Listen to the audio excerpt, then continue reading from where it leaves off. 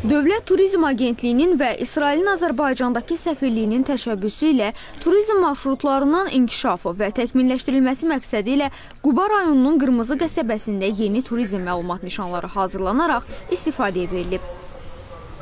Hörmətli tədbir iştirakçıları, Bununla bağlı Qırmızı qəsəbədə tədbir və brifinq keçirilib. Bildirilib ki, bu turizm nişanları vasitəsilə həm əcnəbi, həm də yerli turistlər qəsəbə boyu gəzməli və görməli yerlərin istiqamətlərini müəyyən edə, eləcə də ərazidə quraşdırılan turizm informasiya lövhələrində həmin obyekt haqqında vacib məlumatları əldə edə biləcəklər.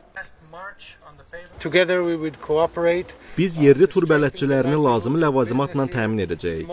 Onların inkişafı üçün layihələr reallaşdıracağıq. Biz həm Qubada, həm də bütünlükdə Azərbaycanda turizmin bərpası üçün işlər görəcəyik. İsrail həqiqətən də Azərbaycanın irsini dəstəklədiyi üçün fəxr edir. Bu yalnız Yahudi icması ilə bağlı deyil. Müxtəlif layihələrlə Azərbaycana dəstək göstərməkdən məmnunuq. Hazırda İsrail hökuməti və Azərbaycan arasında müxtəlif sahələrdə əməkdaşlıqla bağlı müzakirələr aparılır. Qarşıdakı həftədə iki ölkənin hökumət təmsilçiləri arasında yüksək səviyyəli görüş keçiriləcək və bu görüşdə müxtəlif sahələrdə əməkdaşlıq məsələləri müzakirə olunacaq.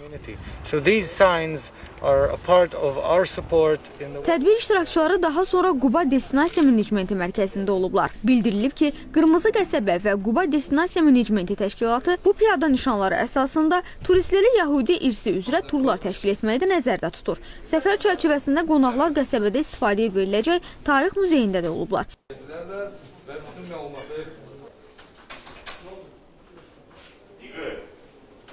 Bu muzey dünyada ilk muzeydir, Dağ Yahudilərin tarix muzeyi. Dünyada başqa bir yerdə belə muzey yoxdur. Birinci muzey Qırmızı qəsəbədə tikilib. İnanırıq bu yaxınlarda onun açılışı olacaq. Ümumiyyətlə biz illərlə, əsrlərlə Qafqazda yaşayırıq, Azərbaycanda yaşayırıq, Qırmızı qəsəbədə yaşayırıq, Qubada yaşayırıq. Onun hamısı böyük ə, publikaya təqdim olacaq. Dövlət Turizm Agentliyinin aparat rəhbəri bu tipli layihələrin gələcəkdə də davam edəcəyini bildirir.